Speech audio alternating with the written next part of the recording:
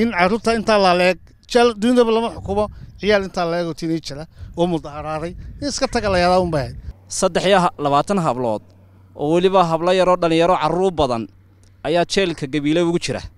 Waxaanu leenahay in saddex iyo labaatan hablood hal jeel ku xidhnaadaan inay fikirkooda cabiraan waa wax aad iyo aad u xun. Awlaadda intaa laaleeg baan xidhanaya oon jeel ku haysanaya oo sidii jeel ogaadeen baan samaysanayaa oo weliba intaan magaaladii ka keenay baan gabiilay ku soo tuuraya cadaalad ma aha. Mas'uuliyiinta xusbiga cadaaladda iyo daryeelka ucid ayaa maanta magaalada gabiiley ku booqday. Jeelka weyn ee magaalada gabiiley saddex iyo labaatankii hablood ee dhowaan xukuumadda somalilan ay xidhay islamarkaasina waxay ka warbixiyeen waxyaabihi ay goobtaasi ku soo arkeen iyagoo arrimahaas iyo arrimo kale ka hadlaya waxay yidhaahdeen. Xabsiga dhexe ayaan booqnay saddex iyo labaatan hablood ayaa ku xidhan oo kacdoonkii isbahaysiga loo xidhay koob iyo tobankii bishii siddeedaad. Kolley anigu waxyaabahan la yaabanahay. Waxaa ka mid ah miyaanay xukuumadda maanta joogtaa sharaf ay shacabkeeda ka leedahay ma jirto. Saddex iyo labaatan hablood oo weliba hablo yaroo dhallinyaro carruur badan ayaa jeelka gabiile ugu jira. Ma xishoonayaan. Waxaan leeyahay waar waxaan leenahay madaxweynaha miyay dad la taliya ay waayeen. Xukuumadda maanta joogta. Waxaan leenahay wallaahi markad aan u galnay jidhidhaco iyo qiiro ayaa ku qabanaysa. Hablaha halkaa ku xidhan ee caarka ah waa ceeb weeye ee ku xidhan lix iyo toban cisho halkaa daadeer wax macquula maaha. Waxaan leenahay wax aliyaalo waxay xukuumaddan maanta ka xishoonaysaa. Ma jirto. Bismi illaahi raxmaan raxiim maanta waxaanu ku sugannahay annagoo ah mas'uuliyiintii xisbiga cadaaladda iyo daryeelka ucid magaalada gabiley xabsiga xabsiga dhexe gabiley kaasaan ku soo booqannay saddex iyo labaatan maxbuus oo ku xidhan sifo cadaalad darro ah saddex iyo labaatankaa hablood waxaa la soo qabtay oo la soo xidhay kow iyo tobankii bishii ogos mudaharaadkii salmiga ahaa ay fikirkooda ku cabirayeen muwaadiniinta reer somalilan gaar ahaan isbahaysiga labada xisbi.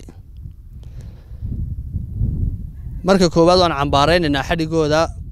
Waxaanu leenahay saddex iyo labaatan hablood hal jeel ku xidhnaadaan inay fikirkooda cabiraan waa wax aad iyo aad u xun. Wax qarankeena u wanaagsan maaha. Wax dalkeena u wanaagsan maaha. Waxaanu leenahay hablaha xoriyaddoodii ha loo soo celiyo. Hablahaasi waa hablo ardaya waa u bixii dalkeenna. Hablo dhowr iyo toban jira iyo dhowr iyo labaatan jiro ayay u badan yihiin waxa u socday waxbarashadoodii. Haddaanu ka xisbiga u cidnahay mar labaad iyo mar saddexaadba waanu cambaaraynaynaa in xadhigoodaasi yahay xadhig sharci daraa bismillaahi raxmaan raxiim maanta waxaan soo eegnay ama aan soo booqannay hablo yaryar oo tiin ejaris ah oo ku xidhan xabsiga dhexe ee gabiiley anigu waxaan moodayey markii hore in ay yihiin dad waaweyn oo muddo kara in la soo xidhay laakiin markaan u tagnay waxaan aragnay hablo yaryar oo ejkoodu aad u da'yar oo da'dii iskuullada dhiganaysay ah la soo qaqabtay. Taasuna waxay ku tusaysaa nin walba wuxuu dhalay carruur buu leeyahay ma jeclo ciyaalkiisa in saa loo soo qaqabto iyagoon waxba samaynin la keeno xabsi magaalada ka fogo ka baxsan magaalada. Waalidkood in saa looga soo fogeeyo waxay ahayd in hargeysa dhexdeeda lagu hayo haddii meel lagu haynayo aan halka la keenin. Laakiin waxaa mushkilad ah in carruurta intaa laaleeg jeel dunidaba lama xukumo ciyaal intaa laeegoo tiinijara oo mudaharaaday in iska taga layadaa un laakiin way dhacday arrinkanu waxaan baa anigu u malaynayaa. Madaxweynaha jamhuuriyadda somalilan muuse biixi inaanuba ogeyn ciyaalkan inta laaleeg ee la xidhay lagu yidhi dad waaweyn baa mala xidhanba walaa odagaba looma sheegin baan u malaynayaa war odaga in dadkan la taliya ama la shaqeeya dee waa inay dee dadka dhegaystaan oo eegaan oo ay si fiican ula taliyaan. Waxaan kaloo u sheegayaa wasaaradda warfaafinta iyo dhaqanka. Dhaqanka iyaga inoo qaabilsan.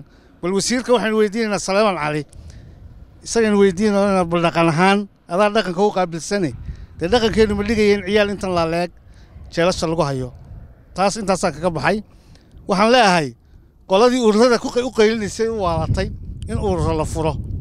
Giddigood wada maagi maayo ragga qaarkii ay u waasheen. Ninkii banaayo lagu fasaxi waa taa laysdul saaraye bal ninkii nacas uunbaa dhaca. Ninkii nacasa uunbaa dhaca. Saasaan taana kaga baxayaa waxaanu maanta soo booqannay hablihii dhallinyarada ahaa ee la qabqabtay ee qaar iyagoo waxbarashadoodii ka yimi qaar iyagoo ka yimi shaqadoodii la wada duubay ee lagu xaraystay jeelka. Anu waxaan qabaaba inaanu muuse sidan sax ku ahayn sababtoo ah habluu dhalay waa la dhalay waxaan uu samaynayo ee cadaaladdarrida intaa leeg.